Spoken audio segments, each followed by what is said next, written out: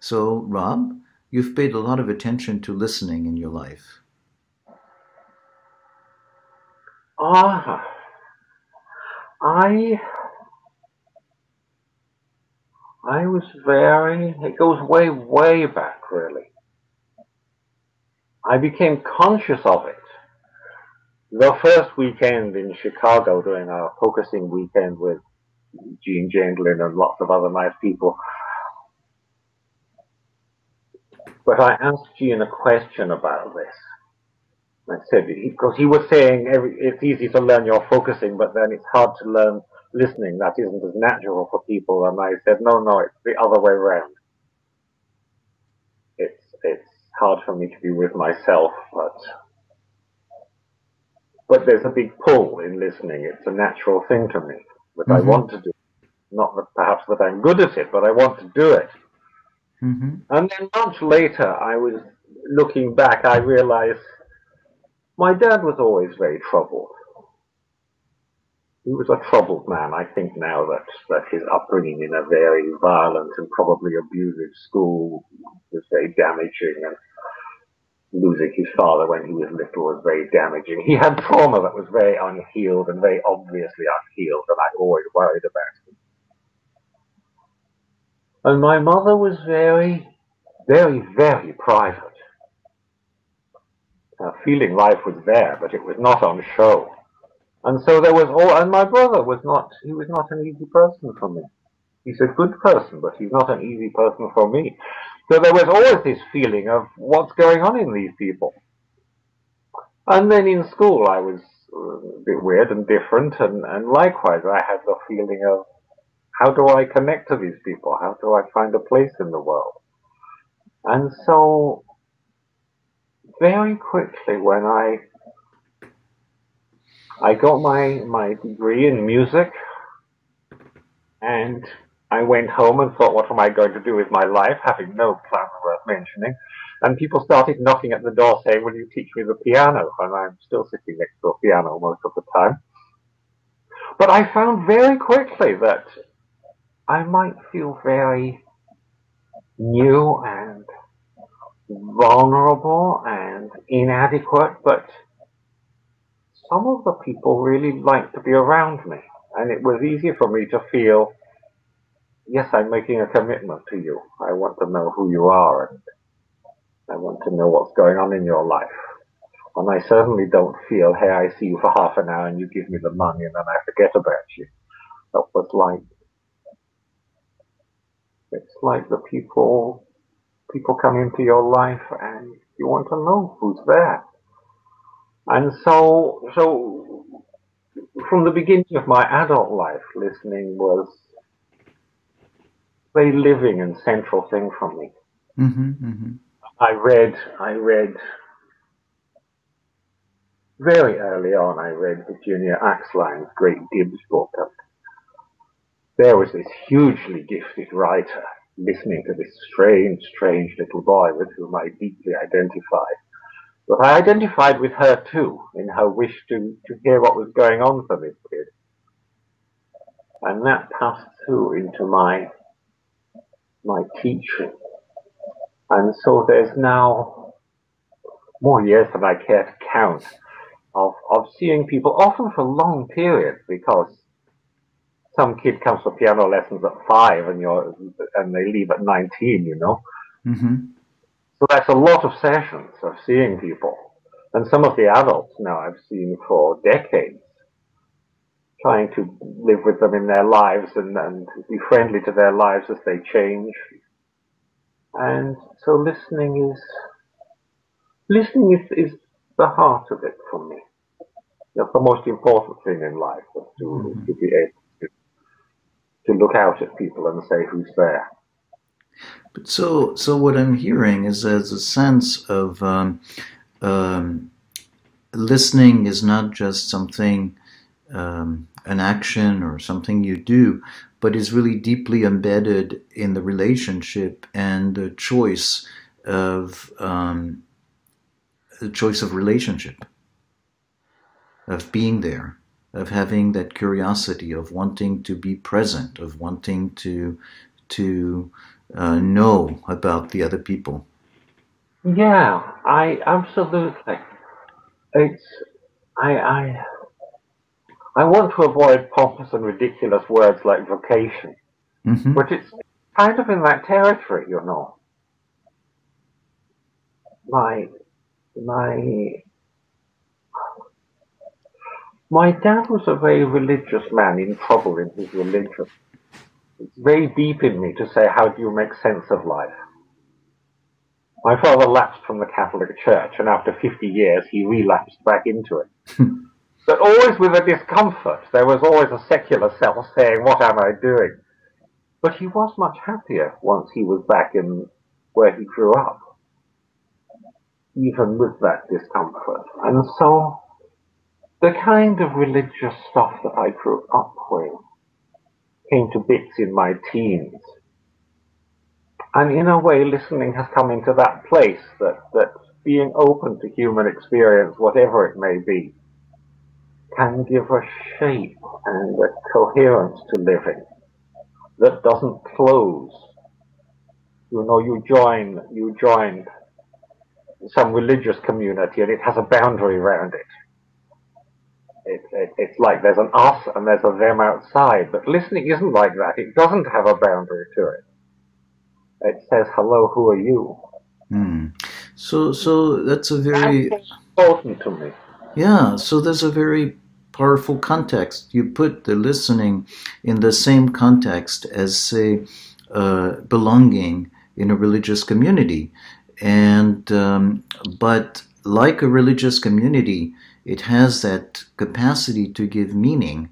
But unlike a religious community, it doesn't um, constrain you. That, that's exactly right. That's exactly right, Serge. I there's a line in uh, something Gene Gendlin wrote.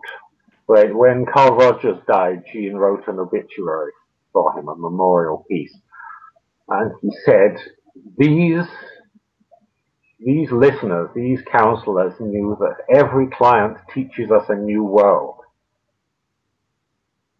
That seems that seems so nice to me hmm that you don't go saying, you know, I know about the unconscious and I know about the id and I know about the superego and you are a person who um, you have these problems, but because they're all unconscious, you can't be responsible and you have to rely on the all-wise therapist to to show you your hidden doubts. Instead of that, you say exactly the opposite. You say, I am the listening person and I don't know, but hmm But- hmm you tell me what your world is like.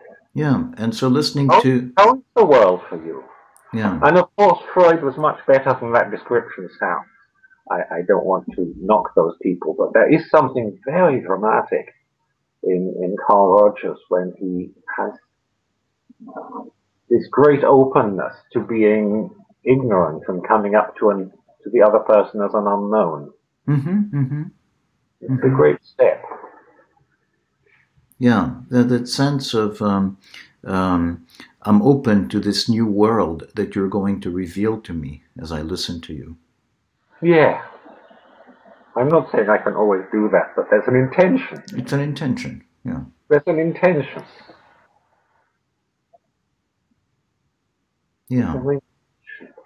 I spent a lot of time in recent years with Chinese children who come to learn the piano, but the, the cultural difference is really fascinating. They seem just like me and I know who they are, and then something will happen and, and there's a gulf. There's some, there's some response that takes me by surprise. And what's going on here? What's the person, what's the person's world really that that I would be missed.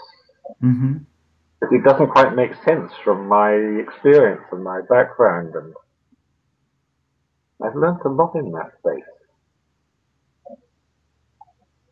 Um,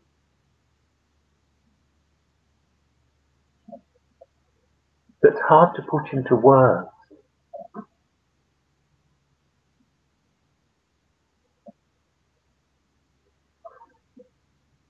Though sometimes it's in the space of things not being said. Mm. Some of these, even quite young, some of these these people will be will be very polite, and and whereas if they were American, they would say what was bothering them. They don't say what's bothering them, and I have to be a little more sensitive, a little more tuned to to catch the undertone. Mm-hmm, mm-hmm. I like that. I find it's very it's very nice. Yeah. And there's something different in the in the parents and children. It's really easy to miss that they really, really, many of these parents want the children to work very hard, but they don't lean on them in the way that many of us would in the West. There's nothing aggressive there. There's just a very strong expectation, and I can get too relaxed there and think we're taking it easy. We are not taking it easy. I have to hear what's happening. It's a different, it's a different way of conveying mm-hmm. um, what parents want and what children want and what's going on there. If I can, I yeah, instruct it. Yeah, yeah, yeah. Does that make sense? Yeah, yeah.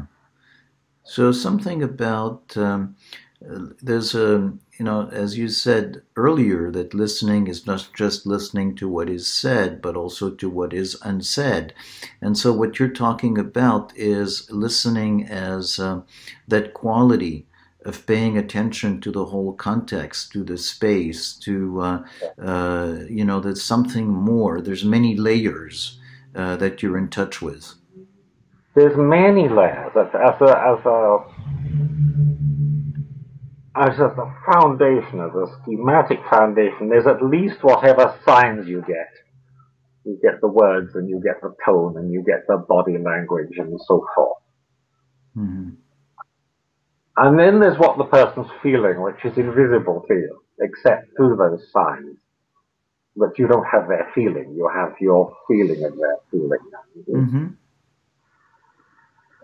My feeling of of what somebody is feeling is it always has this double thing because it has it has my sense of what the person is feeling, but it also has my response in it. And it can be very slippery to separate what's really my response from what somebody mm. is feeling, from the felt sense the person has. And then there's the third thing, which is the whole context they're speaking out of. Um, and that, of course, goes on and on. The context, the context can elaborate forever. Mm-hmm. In a way, as, as Gene says in a process model, it has the whole universe in it. it, it it's an unboundary thing. Yeah.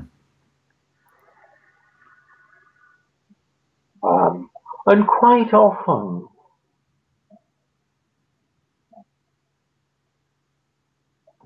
when when when when somebody's talking, say to me, in a context that is not counseling or psychotherapy, but is just ordinary human living, people very often talk about something that isn't the thing that's with them. People talk about what would be polite or what would be approachable or what doesn't feel too intimidating. And then there's a delicacy because because in a way, in, in a way, the person very often wants you to hear what's underneath because people need company in their living. And in another way, you don't want to intrude. Mm-hmm. And so there's a there's a kind of there's a frontier around which all the playing happens. It's where the life is. It's where the fun is. Um,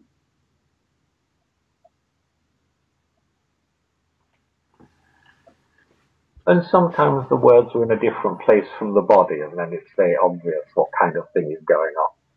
You can feel that, that somebody is saying perhaps what she feels it's appropriate to say, but the body is saying, I feel nervous here and I don't feel safe and something's troubling me in my life.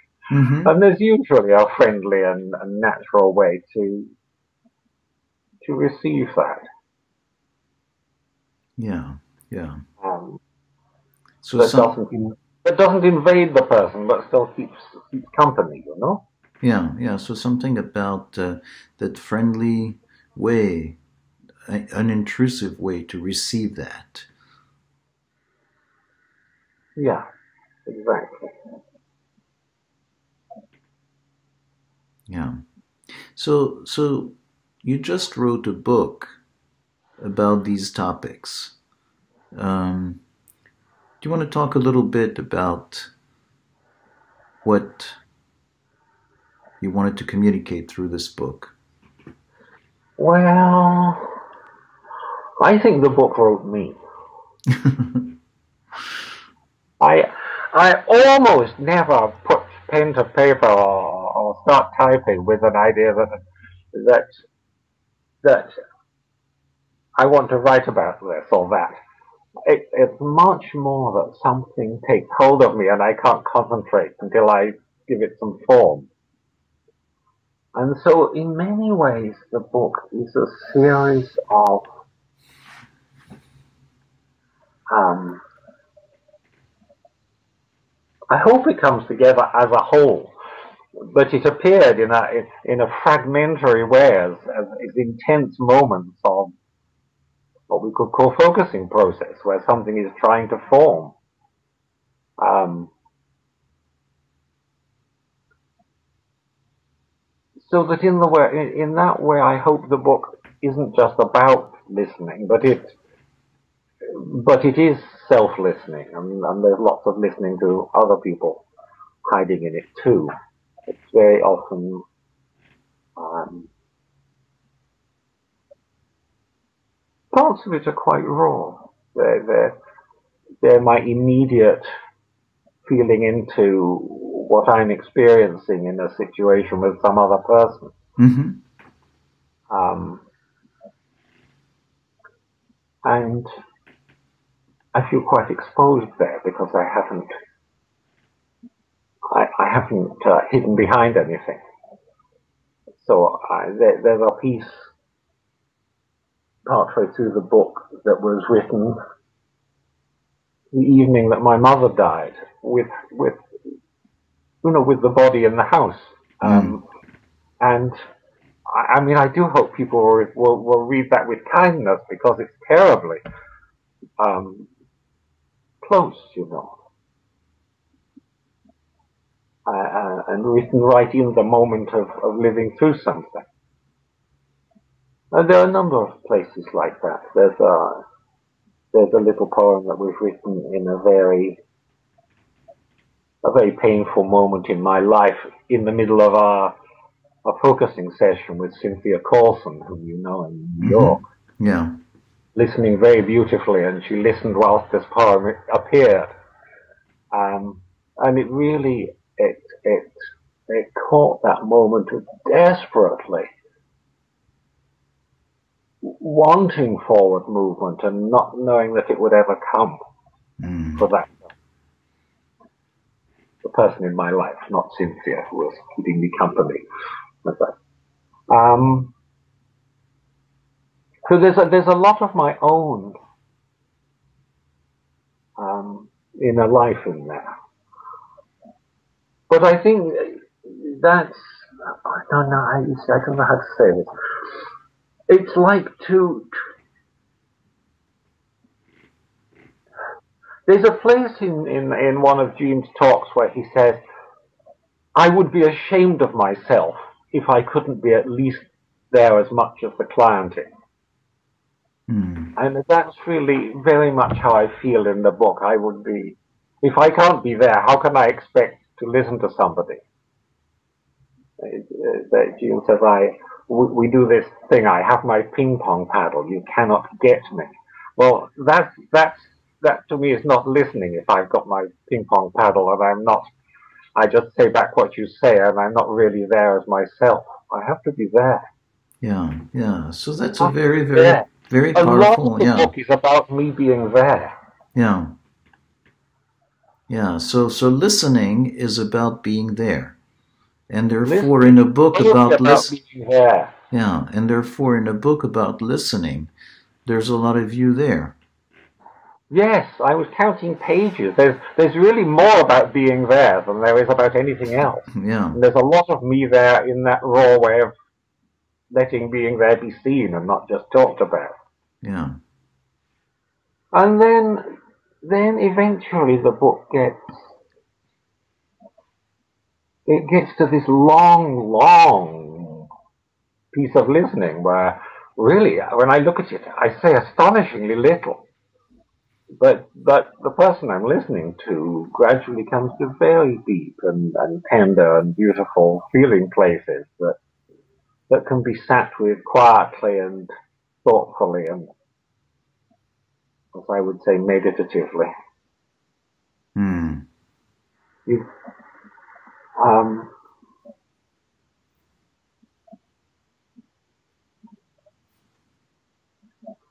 if I'm not quite saying what I want to say or what I mean to say.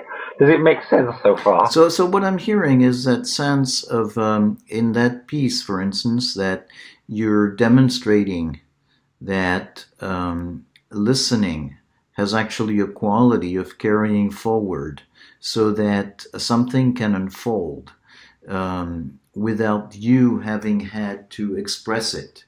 Uh, but that your listening presence has helped move the process there. And so that something about the quality of meditation or contemplation uh, being something that helps achieve something as opposed to simply being, uh, you know, silence or uh, nothing happening. Yes. I, yes, exactly. There's a it seems to me there's a hugely important difference there, which uh, can be said in a number of ways, but one of the ways to say it in in contemplative traditions, like for example some of the Advaita Vedanta teachers in North India, there's a there's an aspiration to be meditative in a way that leads to complete inner silence that leads to stillness. But there's also in, we think of it as Western, though it really isn't. For example, with the Quakers, but in many other places, you get a kind of inward listening, which is not about coming to silence. It's about coming to a place where something new can come. There's a lovely example in my book with John Maynard Keynes talking about Isaac Newton and he says, I was so happy when I found this example. Hmm. He says that he thinks the secret of Newton's great discoveries in physics was that he could hold a problem still in his mind for weeks and months until it yielded its secret to him.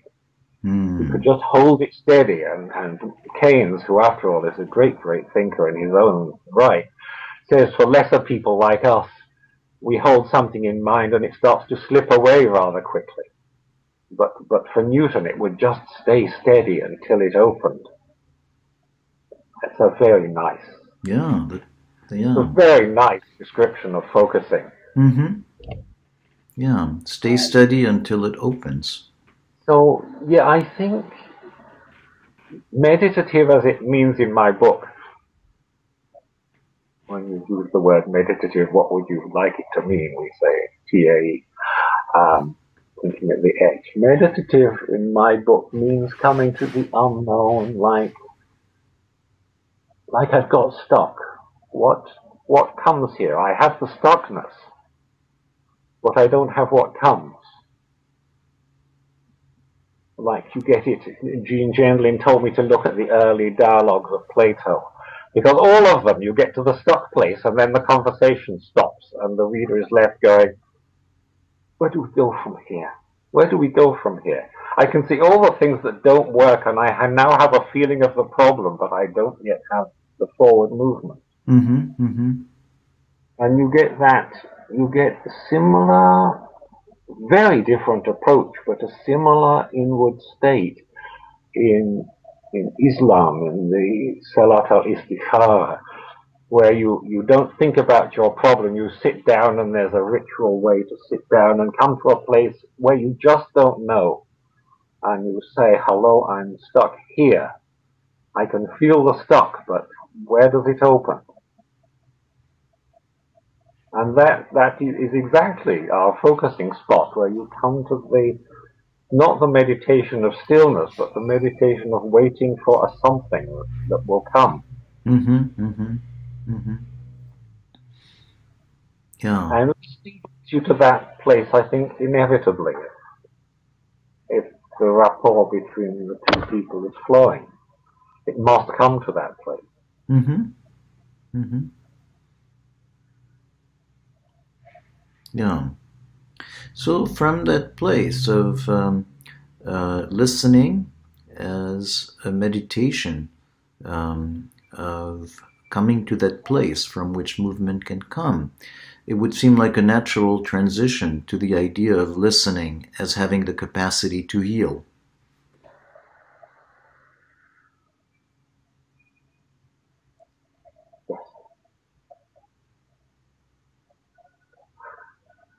Yes. I have various edges there, but yes. I always see if I can catch two edges. The less, the less contentious edge here is we don't want to think of, of we don't want to think of listening as only being for a situation where somebody is distressed. Mm-hmm. I might be listening to you because you're stuck in your maths problem, or you're writing your PhD, or hey, we've just been swimming, and how is how is it? How are you doing? I feel brilliant. Why would I not listen to I feel brilliant? You know, it doesn't have to be about a hurting person and and a kind of therapeutic context, either in either in professional therapeutic life or just in family life. It doesn't have to be about healing. But of course it can be and, and, and is and good when it is. The other thing is that this is more contentious. As soon as you start talking about healing, there's a, an implication that people aren't all right as they are. Mm-hmm. Mm-hmm. And uh, if I may be so crude as to say so, that sucks. There's something very bad about starting with an assumption that people are broken. We have somehow to be. So I'm wary. The I I I mean I'm grateful for the healing in my life. There was plenty to heal. The the healing I experienced when the first time that Gene Gendlin listened to me was was beyond price. I'm I, I'm no way against healing, but I'm wary of the assumption that people are somehow cracked. Mm-hmm. Mm-hmm. I, I, Wilhelm Reich somewhere has this thing where he says on the surface we're all fine. We, we can go about in the world and buy a coffee and chat to our friends and do our business and we look okay. You look under that and it's all hell breaks loose. And there's all kinds of broken and cracked stuff and damage in people. And then you get below that and he says this is the thing that Freud never found out. Below, below that, actually people are fine. Just fine. In the East they would say people have the Buddha nature. I don't think we should lose sight of the fine that's, that's behind the stuff that people are up against. So I'm wary of this word, this word healing. Mm-hmm. And all that said, yes, of course, listening is wonderfully healing. Yeah. I remember a, a, a young man came in to, to, to play the piano to me, and I said, "How are you doing?" And he said, "Fine." And I thought, "The hell you are," you know. I said, "So on a scale from one to ten, he said four. I said, "That's sort of fine." And then we both we both fell about laughing. And then I said, "Where are you now?" Well, he said, "I don't know what happened, but now it's seven. well, that's listening, right? right. Right. Um, it lifted it lifted it lifted him from a four to a seven in about three seconds. we won that healing, both both that short term healing, but also the deep healing that goes way way back into early childhood and uh, everything else, the stuff that happened to us. Mm-hmm. But we don't want we don't want healing to put onto people the idea that there's something wrong to them, wrong with them. Yeah. Yeah. Yeah.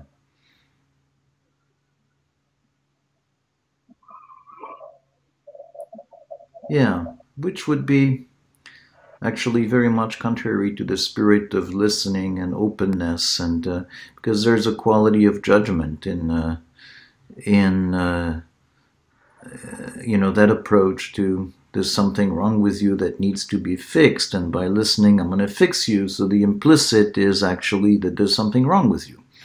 Yeah, yeah, exactly, and. Uh, oh God, I'll be provocative. As Westerners, we have been far too prone not only to do this to individuals, but to do it to whole cultures. We go wading out into the world and say, your culture's no good. You need to have our values. Right. This, this must be a bad place to start from.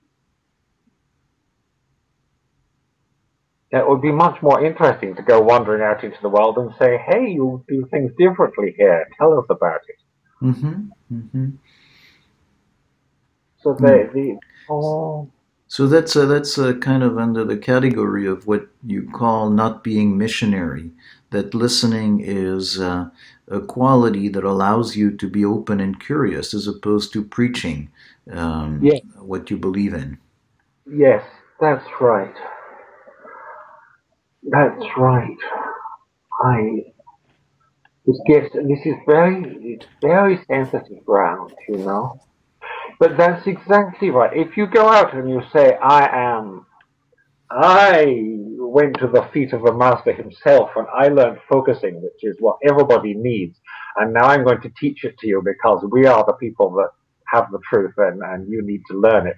This is a terrible place to start from. And I happily I don't think any of our people do that, but it's kind of vaguely implicit in the in the project.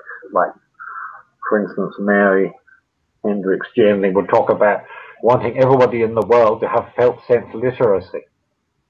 Well, I got used to it. I, I, I liked Mary very much indeed. And I love Mary. She was very good to me.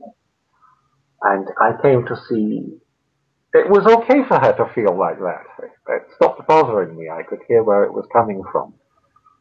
But it isn't a comfortable way for me to go into the world. Mm-hmm.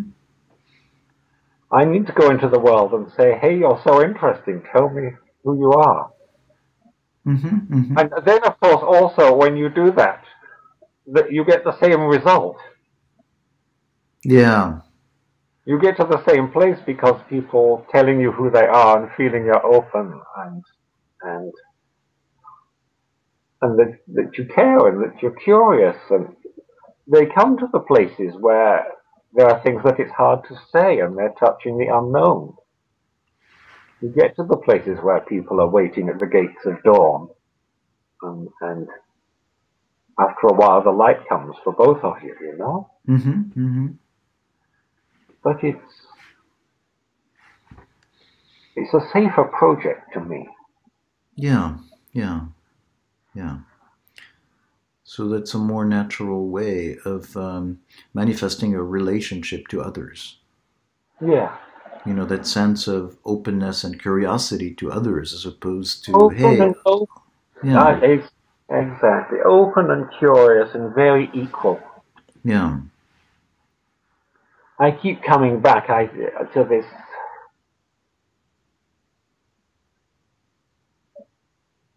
This line of of um, Prince Shotoku, who took Buddhism to Japan in the sixth century or something like that, and wrote a what's called a constitution, though it isn't really. And he, he says, "I'm not wholly wise, nor are you wholly foolish. We're each of us wise and foolish, like a ring that has no end." Mhm. That seems like a good way to approach people to me. mm, Okay, yeah. Where we, yeah, we're each of us wise and we're each of us foolish, and Yeah. let's meet on a level. Let's not be doctor and patient. Let's not be teacher and student. I mean, we have to be those things to some extent in a social mm-hmm. structure. But in our meeting as human beings, no, we have to meet. We have to meet on a level, you know? Yeah. Yeah. Yeah. We have to meet on a level. I talked to a guy many, many years ago. He was a local taxi driver and very much from the blue collar end of society. And he was in hospital. He'd be just come out of hospital from serious and life threatening heart surgery. And he said he felt they were all they were all middle class white collar people and he felt everybody looked down at him and he had a big chip on his shoulder. He he was really unhappy. He felt it was a deeply humiliating experience being with these people from a another kind of social class, and he was very ill, and he, it clearly had been awful. Mm-hmm. Mm-hmm. I mean, maybe it was all his projections, but it had been awful. He said, and then they said the professor was going to see him, and he said, I went, oh my God, no. And then he said the professor came, and he was the only guy I met in my whole time in hospital who just met me like a friend. I was very moved by that. mm. It was like the big cheese knew how to be just another guy. Yeah. Hello, how are you doing? Yeah, I'm frightened. Yeah, you'd be frightened. It'd be in a close run. You know, just on a level. Mm-hmm. It's such an easy thing to say, and it's such a difficult thing to get to. Or easy and difficult, you know, it's right there. Yeah. Yeah. It just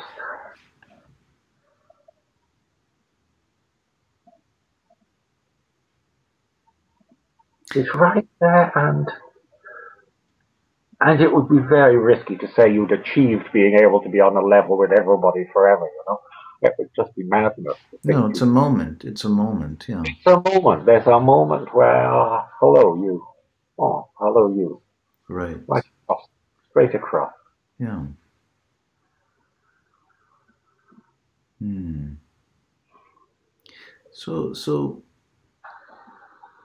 this feels like actually a very powerful way to uh, to to wrap up what you're saying. Just want to check whether that notion of moment, of being on the level, of being there, not in a permanent way, but at a given moment, uh, feels right as a way to uh, to end this, or whether there's something you might want to add.